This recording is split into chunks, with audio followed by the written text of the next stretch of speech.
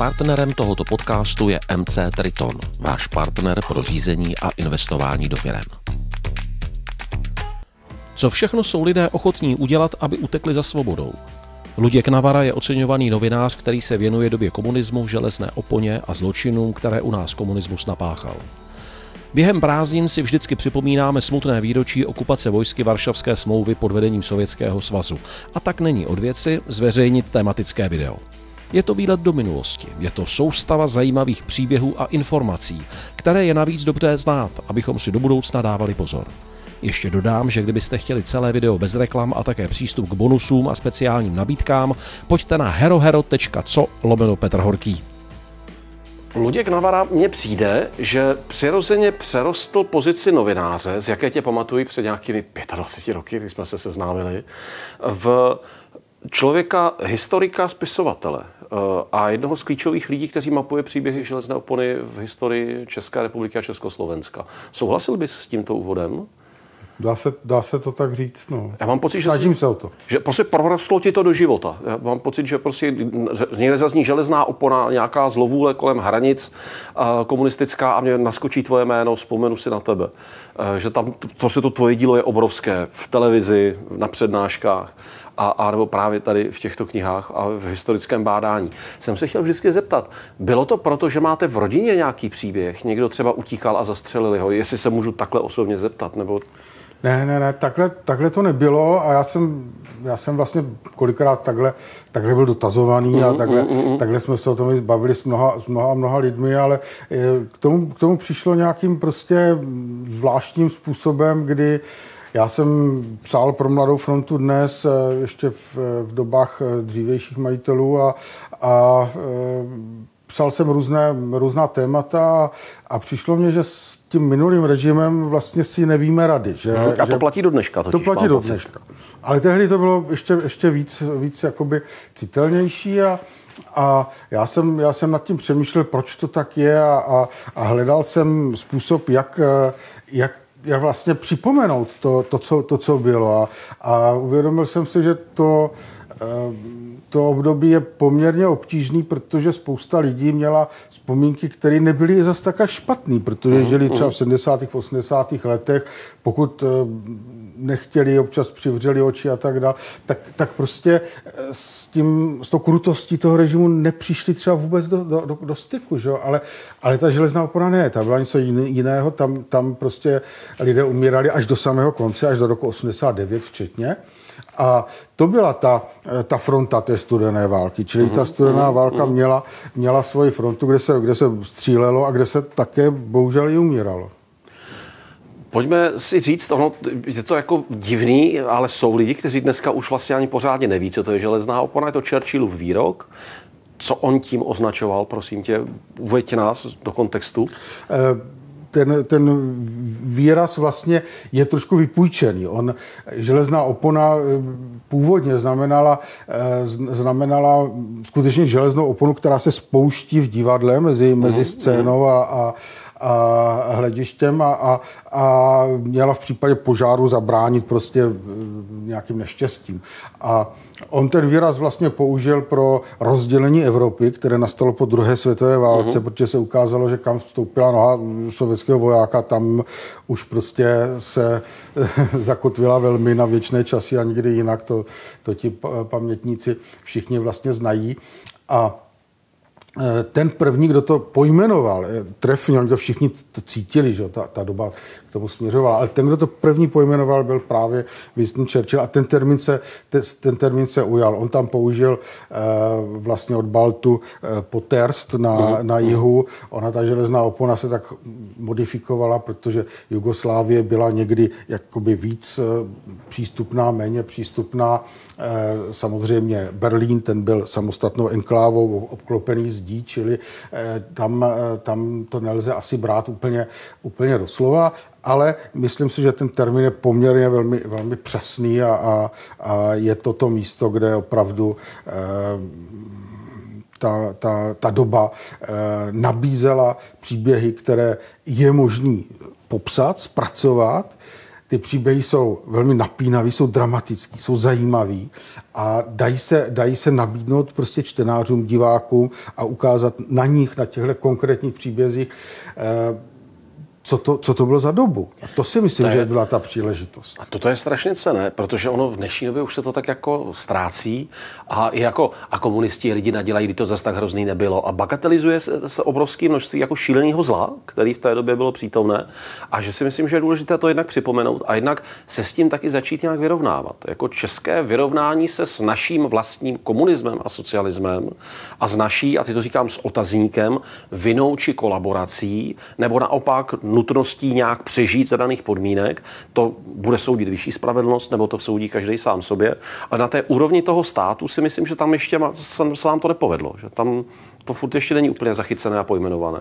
Je to, je to přesně tak. Myslím si, že větší díl práce eh, odpracovávají eh, organizace, které, jsou, které vznikly ze spodu, které vznikly na bázi občanské společnosti. Paměť národa. Paměť národa eh, další různé, které připomínají eh, minulost, ale jsou to třeba i festivaly, jsou to eh, autoři nebo různé akce, které připomínají tu minulost, někdy spontánní, že jo? ale a mm, pak, eh, pak vlastně ten stát trošičku jakoby zatím, zatím jakoby klopítá, tak mi to mm-hmm. prostě přijde. Mm. Železná opona měla taky svoji fyzickou podobu a to byly prostě hranice, přes které se nesmělo. Mně to došlo normálně až několik let po revoluci, když mě kdo si řekl, no my jsme hlídali hranice ne před cizincema, ale sami před sebou, aby jsme nesměli utéct. A mně to došlo ten paradox, to, jak to je fakt jako zrůdné, když sama země si postaví prostě vojsko, na dámu do ruky ostře nabité zbraně a říká, kdyby někdo z těch lidí chtěl ven, tak je zastřel. Ne chráň všech nás proti všem možným útočníkům zvenku. A když prostě ty hlavně namíří na svoje vlastní lidi, to je prostě hrozný. A teď byli nějací lidi, kteří se pokoušeli utéct. A ty říkal, že tam jsou zajímavé historky, tak jsem s nima. tak eh, těch historek je, je nepřeberné, nepřeberné, množ, ne, nepřeberné množství, ale, ale co asi je, je taková jedna z nejzajímavějších, tak je u těch podrátech elektrického napětí, mm-hmm. respektive po drátě, který je technickým, technickým vedením, který spojuje stožáry, po kterých jdou ty dráty s elektrickým napětím a ten drát vede nahoře a není pod proudem. Uh-huh. A byli dva takový šikovní, šikovní mladí muži. Jeden se jmenoval Robert Ospal, že ve Vídni, s tím, jsem, s tím jsem se několikrát setkal, mluvil, ten jeho příběh jsem vlastně popsal.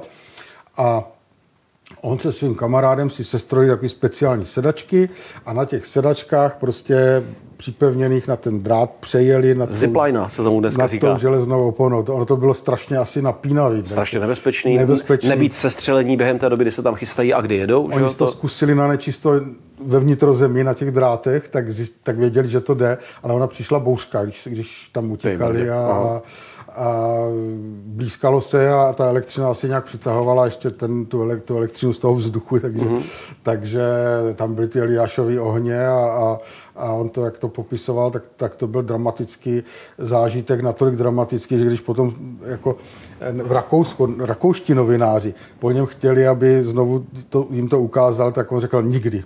Aha, aha. Už, tam, už tam nechtěl vlézt. V Národním technickém muzeu mezi exponáty v té krásné velké dopravní hale jsem jednou viděl vírník, který si sestavil někdo zase, aby přeletěl a jemu se to nepovedlo. Přikivuješ, znáš ten příběh. Ano, ano. Tak povídej, tím, povídej detaily. Tím pánem jsem se setkal, jméno se Vala, eh, žil ve Spojených státech, žije ve Spojených státech a, a byl velmi šikovný. To byl, to byl nesmírně šikovný člověk, protože už to, že si se strojil ten věrník, že se s ním, eh, že se s ním eh, pokusil vlastně o ten, o ten úlet do Rakouska, tak to, to svědčí o... On chtěl létat vždycky, on byl, on byl nadšenec tady do, do, do, do, do, do, do, do téhle profese. A on tím věrníkem, ale bohužel, eh, on měl strašnou smůlu. On prostě přiletěl tu hranici, byl skutečně na Rakouském území, ale nějakým způsobem se zamotal a přistál zase na Slovensku. On letěl ze slovenské strany přes řeku Moravu. Ano. A přistál znovu na Slovensku a byl, byl zatčen, skočil vězení. Kolik let dostal? Musel bych se podívat, to z hlavy. Jo, ale e, mě to zajímá z hlediska toho, jako jak velký trest za to mohl být, jestli jako půl roku podmínka ty, ty, ty, anebo jestli se za to dalo jít opravdu jako na tvrdo do kriminálu. Ano, určitě. Za, e, ty případy jsou hodně různorodý, protože vlastně, když si člověk vezme, že na jedné straně mohl být ten nešťastník zastřelený, což je vlastně také jaký, jakási v uvozovkách forma trestu, tak eh, na druhé straně on mohl vyváznout jenom s podmínkou. Byly uh-huh. i mhm. takové případy, protože hodně hrálo roli, kdy se, ten, kdy se ten útěk odehrál. Když to bylo třeba ke konci 80. let, tak eh, tam, eh, tam už byly případy, kdy, kdy vyvázel s podmínkou, kdy, kdy nedostal, nedostal skutečně ten v vozovkách, který tvrdý trest vězení. Ale v těch předchozích dobách, a zvlášť, když to bylo spojené s třeba se zběhnutím, když se jednalo o vojáka, tak, tak tam to byly opravdu tvrdé tresty. Já si pamatuju ještě za komunistů, já jsem byl trempík, to jsou prazáklady mého cestovatelského bláznění, tak jsme byli v Podí na trempu najednou nás přijelo auto, zavzali nás vojáci, vezli nás k výslechu a strávili jsme půl dne na policejní stanici, nebo na stanici pohraničářů, kde nás vyslýchali, proč tam jsme, co děláme. My jsme fakt jako je, nakonec naštěstí přesvědčili, že nechceme překročit hranice, že jsme tam jenom na procházce. Oni nám řekli, ty, ty, ty, tak už sem nikdy nechoďte, teď jsme u toho, ty, ty, ty. A, a odvezli nás pryč a řekli, a tam už se jako nevracejte, protože po druhé už bychom vás jen tak nepustili. Takže tam tím chci ilustrovat, jako, že to nebyl žádný jako legrační režim, vím, že to prostě bylo velmi tvrdé. Ty jsi říkal, že tam se mohlo střílet. Eh, jsou snad i případy, kdy dokonce psy roztrhali ty lidi a podobně. Tak pojďme, prosím tě, k nějakým zase jako děsivým příběhům, ať, ať to jsme hmm. schopni nějak ilustrovat. To, to... Ten, ten příběh s těmi psy je zrovna velmi, opravdu velmi smutný. To se jednalo o mladého chlapce z východního Německa, z Magdeburku. Jmenoval se Hartmut Tauc. A eh, ten, ten se prostě pokusil u Bratislavy na Petržalce dostat do Rakouska a eh, měl, měl na jedné straně štěstí, že se skoro až do toho Rakouska dostal, ale v té chvíli prostě eh, jak eh, překonal ty, ty dráty, tak tam fungovali, a to samozřejmě nemohl vědět, takzvaní samostatně útočící psy. To je termín, který tehdy prostě se používal. Samostatně útočící psy byli, byla dvojice psích sourozenců, kteří byli vypouštění automaticky systémem takovým, že v případě nějaké, nějakého signálu, tak oni prostě vyběhli a, a, a byli naučeni naběhnout na toho, na toho dotyčného, což se v tomhle případě stalo. On byl uh, roztrhaný, velmi těžce zraněný a k tomu všemu ještě ti pohraničníci, kteří tam přiběhli, tak místo, aby mu okamžitě na, na, poskytli první pomoc, tak ještě prohledávali okolí, jestli tam prostě není někdo další a tak dále. A to samozřejmě nej, nejsou náhody, to, to, to byl nějaký systém, který s těmi psy počítal, eh, to, že oni neposkytli pomoc, ale prohledávali to okolí, to, to zase vycházelo z, z jejich prostě předpisů, protože museli se podívat, jestli tam není další, eh, další člověk, kterému oni v i v té hantýrce říkali narušitel, to je mhm. možná také dobré připomenout, že vlastně používali slovník, který měl odličtit toho, toho uprchlíka. Což je vlastně vojenská retorika. Přesně tak, ale to je, to je součást, myslím, že i psychologická věc, že, že měl, měli, měli být připraveni na to, že, že ten člověk je pouhý narušitel, že to není nějaký nešťastný běženec. A ale vraťme se k Harmutu Taucovi, on prostě byl odvezený do nemocnice, kde, kde v zápětí zemřel a, uh-huh. a e, byla to úplně nesmyslná, zbytečná smrt. Kolik lidí zemřelo na železné oponě v České republice, v Československu tehdy? Tak e, ty odhady nejsou, nejsou vlastně dodnes úplně přesné, nejsou stoprocentní. Odhaduje se kolem 240 uh, e, uprchlíků, ale často se zapomíná, Eh, na pohraničníky, protože ti jsou, na ně se pohlíží, někteří na ně pohlíží jakoby šmahem odsuzují, jiní naopak eh, jsou takoví, kteří prostě je spíš jakoby i chválí nebo že eh, omlouvají, ale mm, on, on ten pohled by měl být někde mezi tím. My bychom si měli uvědomit, že ti pohraničníci byli byli z větší části samozřejmě obyčejní vojáci, kteří museli narukovat. Neměli, ne, mhm, mhm. neměli jinou možnost a dostali se do situací, které nemohli, eh, nemohli prostě třeba akceptovat, nemohli zvládnout. A zemřelo jich kolem 600 celkem. To je strašně moc. 200 jich spáchalo sebevraždu. A to je, myslím, tohle číslo je hodně zajímavý, protože uh-huh. vlastně mladí kluci, kteří byli donuceni střílet po nějakých neozbrojených lidech, nebo eh, byli v situacích, kdy, který nedokázali třeba zvládnout. Takže těch 200 sebevražd si myslím, že je hodně zajímavé číslo. Moc se o tom nemluví a mhm, myslím mm-hmm. si, že mm-hmm. to je chyba. Že, že to je velmi důležité číslo, souhlasím to, to s tebou. Je, to je hodně, hodně zajímavý a hodně vypovídající. Je to vlastně podobné číslo jako počet těch lidí, kteří se pokoušeli utéct a byli zabití. Eh, a to je jedna z těch věcí, eh, jako připomínka i těm totalitním režimům, že prostě na nevědomí a na psychologii lidí se to stejně odráží a je jedno, co se navenek říká v propagandě, co se tvrdí v médiích. Prostě člověk své duše neuteče. Přesně tak. To, to je síla. Eh, jak vlastně vznikla ta železná opona? Prostě po skončení druhé světové války nebyla Česká republika, Československo zadrátované se systémem třeba i dvojitých plotů a podobně. Kdo to vymyslel? Proč to vzniklo? Kdo, kdo byl architektem celé té hmm. myšlenky? Ten, ten, ten princip samozřejmě ne, ne, nevzešel z Prahy, že jo? Ne, nebyl, nebyl, nebyl tuzemským eh, vynálezem. Ta železná opona vlastně obklopovala i to východní, nebo tu východní část Německa, později tedy s nějakým spožděním i, i ten eh, Berlín. A ta československá část eh, měla jednu zajímavost a to byly ty elektrické zátarasy, kde byly dráty nabité smrtícím napětím a tím člověkem, který vlastně to prosadil a zařídil, tak byl jistý Ludvík Hlavačka. Možná to jméno někteří lidé znají z Uherského hradiště, protože on byl eh, v, v tamní eh, vyšetřovně byl eh, velitelem a později udělal kariéru jako velitel, první velitel vlastně pohraniční stráže. Já se zdržím, promiň, u toho hradiště. Ta vyšetřovna, jestli to je vyšetřovna STB v Uherském hradišti, to je dost jako nechválně proslulé místo, kde se jako mučili lidi, týrali lidi. On byl jeden z nich. Z těch, on, kdo, mučili a týrali. On byl dokonce ten, který byl vedoucím. Jo. Který jim mm. velel. To znamená, že, že on nesl za to hradiště zodpovědnost. Za Takže to, tenhle Grázl potom uh, vymyslel, že když nám někdo bude utíkat, tak na rozdíl od jiných států ještě do těch drátů pošleme elektřinu, jen ať nám pěkně všichni umřou. Eh, je, je to tak a tady ještě je možná jedna pikantní podrobnost, že tento člověk, když už se o něm tedy bavíme, tak byl ten, který vlastně eh, zavedl, nebo za jeho působení se zavedlo mučení elektrickým proudem v Uherském hradišti. Takže eh, já jsem o něm psal někde v knize jako muž, který miloval elektřinu. Takže mm-hmm. ta, ta, ta elektřina ho vlastně provázela tou kariérou eh, i později právě na tom, na tom postu, kdy vedl té pohraniční stráži. Velmi respektuji a uznávám to, že si eh, udržuješ informační rovinu, ne hodnotící rovinu, protože z minulostí nezúčtujeme tím, že budeme nadávat, jak jsem se já teďka neudržel, ale tím, že ji budeme schopni pojmenovat. To já se vrátím tady i k té jako snaze o věcnost, eh, abychom se v ní udrželi. Komunistický režim se hromadu věcí naučil od německého režimu během druhé světové války, dokonce i se mu hodili leci jací lidé, eh, kteří kolaborovali s Němci, se pak hodili eh, komunistické mašinerii. Je tam nějaké propojení i v souvislosti právě s hlídáním hranic?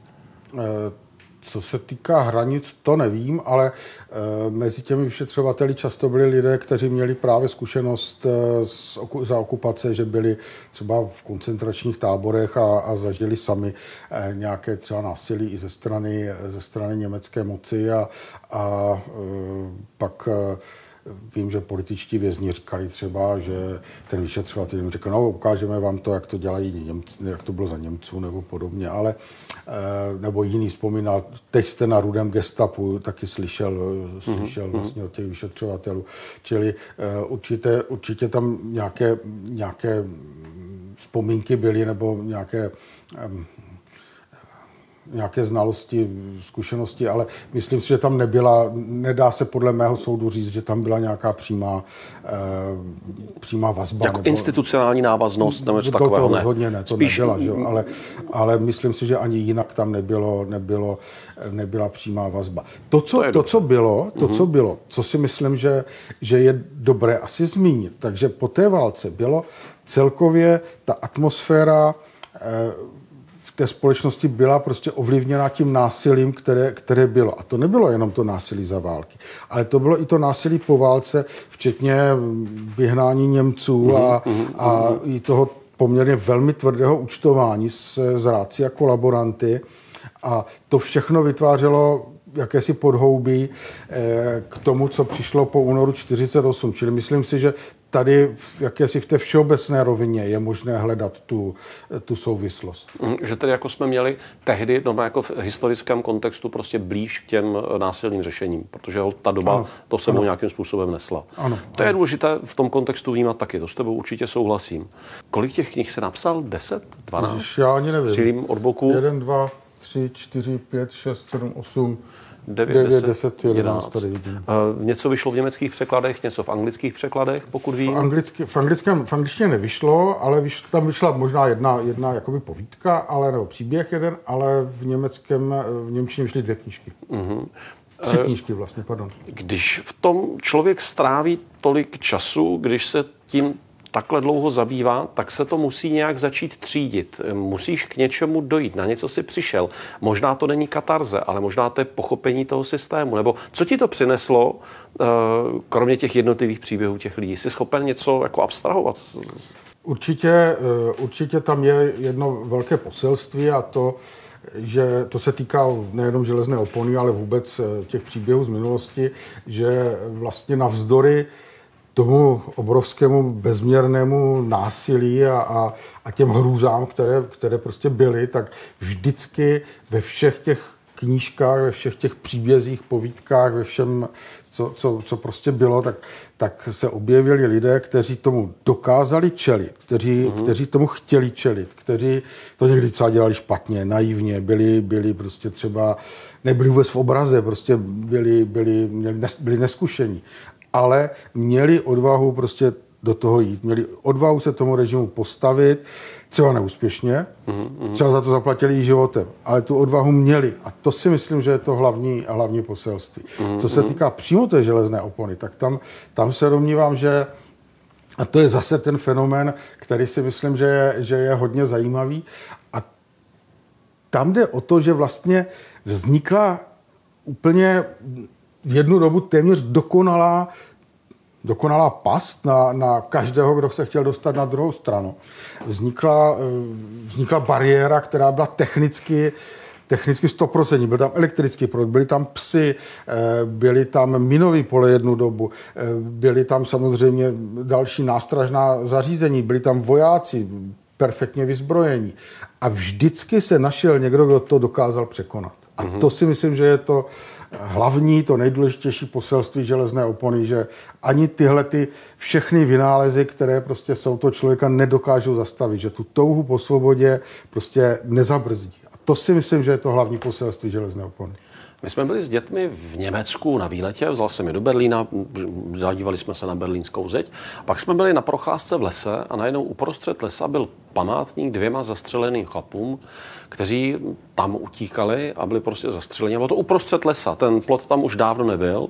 A naše dvě dcery se ptali, proč je tady někdo zastřelil, když jsme normálně v lese, chodíme tam zpátky. Jsem říkal, no, tady byla železná opona, tady byla hranice mezi východním a západním Německem. A pak jsme strávili celé dopoledne debatou nad tím, jako co to je, protože pro ty holčičky to bylo nepředstavitelné. Co si od toho ten východní blok sliboval, že zakazoval lidem, aby šli ven? To je, tak by lidi odešli, kdyby neodešli všichni. Proč je nechtěli nechat jít? Protože nad nimi eh, měli moc, když, eh, když eh, někdo může odejít, tak nad ním ztrácíš tu moc a to si myslím, že, že, je, že je ta hlavní psychologická, hlavní ten psychologický důvod. Z jedné strany to určitě se i do dneška odráží v takové té české nedůvěře v jakékoliv instituce. A oni něco jiného říkají, ale kdo ví, co je v pozadí, to je takový jako český pohled. A druhá věc je, že se nám eh, propisuje do vnímání, a myslím fakt ještě, že i teď to, to tam je, takový ten nepravdivý jazyk. Tehdy se říkalo, my stavíme hranice, abychom nás chránili, ale mířilo to dovnitř do té země na nás, na obyvatele toho Československa. A přitom se tomu říkalo, že to je údajně na naši ochranu. Byla to lež. Říkalo se, uh, sovětský svaz je nejlepší přítel a on přitom tu naši zemi dancoval, měli jako kolonii. A že si myslím, že ten posun významu těch slov, že to je další strašlivě nebezpečná věc. I to, že ten, kdo utíká, je označený za narušitele. Ne, on chce odejít, tak ho nechte, ať jde, na tom nic špatného není. A v tomhle tom vidím nějakou hruzu. Potkáváš se s tím slovníkem, je tam takových příznaků víc? Přesně tak a na spoustě debat se třeba člověk setká s názorem, že eh, Američané mají na hranici s Mexikem také, také plot a, a mm, vlastně v tom není žádný rozdíl. Je to, je to podobný. A vlastně ti lidé, kteří to říkají, si vůbec neuvědomují, že ta hranice, ta železná opona, která byla tady, vlastně nebyla namířena ven, nebyla, nesloužila k ochraně nebo k nějaké, jako nějaká bariéra před nějakým vnějším, nějakou vnější hrozbou, ale že právě byla namířená dovnitř, že byla namířená proti, proti těm vlastním lidem. A to je, to je ten obrovský rozdíl mezi, mezi, tím, mezi těmi bariérami, které se prostě někdy objeví ve světě a tím, co bylo, co bylo tady, co, čeho mm-hmm. jsme byli zkuš, svědky. A jak s tím pracovala ta moc, eh, s těmi přechody a s těmi narušiteli? Zajímá mě, jestli, jestli právě si našel někdy během svého bádání. Jedna věc je, jak na to kouká ten normální člověk, který chce utéct, a druhá věc je, jak to pojmenovává ten vyšetřující orgán, který se tím zabývá. To budou asi dva odlišné jazyky, dvě, dvě, dva různé způsoby fungování. Toto by mě zajímalo, jestli bys mě do toho to mohl nějakým způsobem vpravit. Eh, Samozřejmě, ten, ten jazyk už, už rezonoval, nebo už, už vlastně se, se propisoval do toho, do, do toho, jakým způsobem to bylo popisováno eh, na úrovni těch, té armády, to znamená těch, těch vojáků, kteří zasahovali. A samozřejmě pak, eh, pak to bylo v soudních rozsudcích eh, všude. Ale myslím, že je přece jenom velký rozdíl, jestli to bylo v 50. letech nebo, eh, nebo později, protože v těch 50. letech tam často se objevovaly v souvislosti s tím i e, různé náznaky, že, že šlo o útoky proti tehdejšímu zřízení a, a, a mířilo to často mnohem k závažnějším případům, obviněním a, a, a tak dále. Čili tam si myslím, že je velký rozdíl. Spousta lidí utíkala, že jeli na, na západ, na, na zájezd a už zdrhli herci, muzikanti, sportovci. Takových případů byla spousta. Tam to riziko bylo menší. Co se pak dělo s rodinami těch lidí? Tam byl, tam byl velký, velký problém a samozřejmě ten režim se tomu už dopředu bránil, protože on věděl, že to takhle je. Mě mrazí snad nejvíc ze všech příběhů, které si řekl. Zkusme to otočit a, a podívat se, jestli ty archivy nám nenabídnou příběhy pozitivní, příběhy plné odvahy a, a, a nějaké statečnosti. Byl se spodívat, jestli na tebe někdo nedonášel? A jednu, jednu dobu vlastně byli u hranic i miny a Později byli i ti samostatně útočící psi. Mně to přijde, že to je strašně důležitý. To je pro dnešek vše, mějte se krásně. A stavte se i na můj předplatitelský kanál na Hero Hero. Adresa je www.herohero.co lomeno Petr Horký. Ahoj, mějte se krásně. Partnerem tohoto podcastu je MC Triton, váš partner pro řízení a investování do firem.